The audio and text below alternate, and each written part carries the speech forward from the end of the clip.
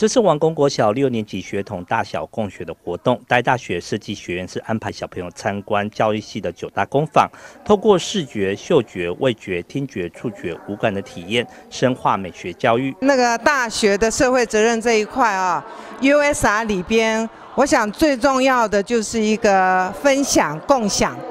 啊，那因为呃很可惜是王宫国小跟我们稍微有一点距离，否则的话呢，我们的分享共享可以做得更落实啊。因为小朋友有的时候光是一个参观啊，可能没有办法很深入，但是动手做，让他有无感的体验。就可以唤起他真正比较，呃，我们说的深层的美术教育。那王光国小呢，位于彰化的海边这边哈。那因为我们这边的话，也是呃，目前彰化县的一个蛮大的一个风场的附近。那在我们这边的话，因为它这个风场立距离我们可能会有一些距离，我们比较没办法实地带孩子去接近这些这些啊风电的的场场域，所以我们就利用跟大学呃大大学合作的机会。好，然后让他们来帮我们，呃，跟我们老师们一起来共同来共备，好，来一起来帮来完成这个课程，这样。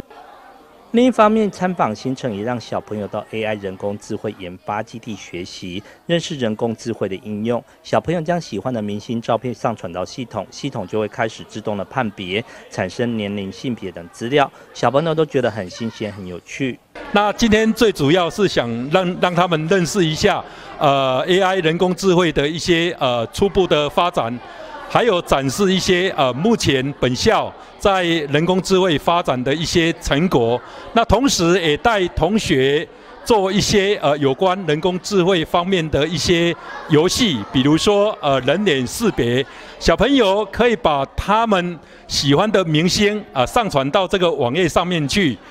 那么人工智慧网页就自动会去判别这个明星的年龄、性别，还有他的一个种族。王公国小教务主任徐明俊也感谢大大学分享教育资源给偏乡，让美感教育和科学教育向下扎根。有一个很大的作用。